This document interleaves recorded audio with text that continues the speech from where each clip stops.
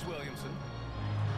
And he comes up with a bucket. Zion uh, Williamson. Again, broad uh, shoulders, the long arms. Very difficult to challenge Zion.